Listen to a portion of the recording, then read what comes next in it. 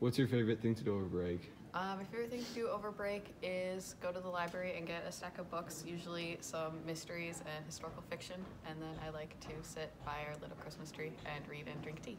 What's your favorite thing to do over break? My favorite thing to do over break is go sledding with my siblings. What's your favorite thing to do over break? Um, play video games. What's your favorite thing to do over break? I like to sled. What's your favorite thing to do over break? Uh, after Christmas, me and my family drive to Wisconsin where uh, we have other family and we all uh, have a Christmas party.